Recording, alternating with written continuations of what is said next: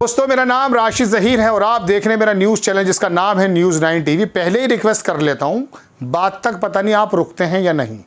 Channel को subscribe कर दीजिएगा जनाब मन, शेयर कर दीजिएगा, लाइक कर दीजिएगा और यूट्यूब पर जाकर ज़रूर देखिएगा, वो नहीं चल पा रहा चैनल। अब आप देखें, बाइडन और अमेरिका के जो राष्ट्रपति हैं, ये और हमारे मोदी जी की मुलाकात हुई थी। मैंने आपको पहले बताया था कि मोदी जी की क्या बातें हुई हैं, यहाँ का मीडिया तो आपको बताता नहीं है। और यहाँ के मीडिया को बाहर भी कर दिया था मोदी जी ने अभी थोड़े दिन, इसमें जी समिट के दौरान। लेकिन बाइडन जैसे वियतनाम पहुँचे, उन्होंने बता दिया मोदी से मेरी बात क्या हुई है। ये मोदी मेरे मुँह से आज ही निकल रहा है, क्योंकि असदुद्दीन ओवैसी साहब कहते हैं मोदी। तो मोदी की बात कर रहा हूँ मैं। तो मोदी जी के बारे में बाइडन ने वहाँ जाके सारी पोल खोल दी मेरी नज़र में तो ये है क्योंकि यहाँ का मीडिया नहीं बता रहा था। यहाँ तो बात हो रहा था, बड़ी अच्छी अच्छी बातें हैं, तुम भी सही है हम भी ठीक। है ना? अब बात क्या है? Big statement by US president इसका वीडियो है, लेकिन मैं आपको कॉपीराइट की वजह से नहीं दिखा रहा शॉर्ट दिखा देता हूँ। इसमें लिखा as I as I always do I raise the importance of respecting human rights and the vital role of the civil society and free press have in building a strong prosperous country with mister Modi Modi इन्होंने कहा कि जैसा मैं हमेशा उठाता हूँ, मैंने importance of the respecting human rights का जो वायलेशन हो रहा है, उसके बारे में बात की मोदी से और सिविल सोसाइटी के बारे में और फ्री प्रेस के बारे में। ये तीनों शब्द जब भारतीय जनता पार्टी के नेताओं के सामने आते हैं डेमोक्रेसी वायलेशन ह्यूमन वायलेशन और बाकायदा इन सिविल सोसाइटी के बारे में या प्रेस फ्रीडम उनको सांप सूंघ जाता है। और यहाँ का प्रेस तो आपको बताता ही नहीं, यहाँ का मीडिया तो आपको बताता ही नहीं है। लेकिन ये वाली बात यहाँ के मीडिया को भी नहीं पता था, बाहर निकाल दिया गया था। तो मैं आपको बताना यह चाहता हूँ दर्शकों के, लेकिन जैसे बाइडन वियतनाम पहुँचे यहाँ से निमट के, वहाँ उन्होंने बता दिया कि मेरी मोदी से बात हुई है।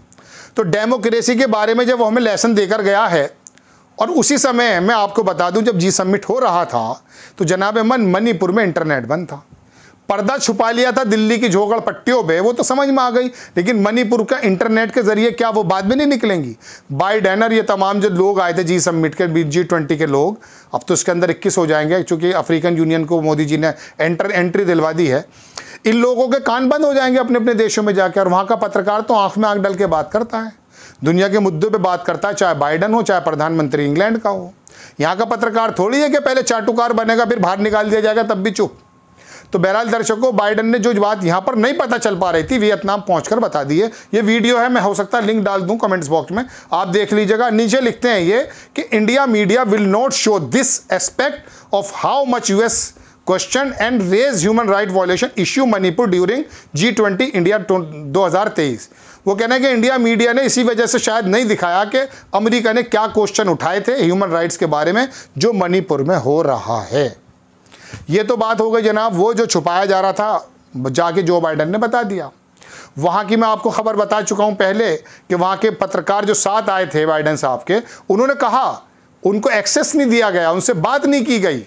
उन्होंने छापा कि भाई आप ब्रांडिंग कर रहे हैं पूरे हिंदुस्तान में चुनाव के मद्देनज़र, यहीं पर आके वो पत्रकार इंडिया गेट के सामने खड़ा हो। तो सीएनएन का पत्रकार बता रहा था कि साहब, पूरी दिल्ली में मोदी मोदी हो रहा है। चलिए खैर, वो एक अलग बात है। अब वहाँ यूएस का जो यूएस व्हाइट हाउस है, वहाँ से भी आ गया कि हमने कई बार कोशिश की, न्यूज़ लॉन्ड्री ने छापा है कि प्रेस को एक्सेस मिले, लेकिन चूँकि होस्ट यही थे, यही नॉर्म्स रूल रेगुलेशन तय कर रहे थे, इसलिए उनको एक्सेस नहीं मिल पाया। प्रेस से क्या घबराहट है साहब?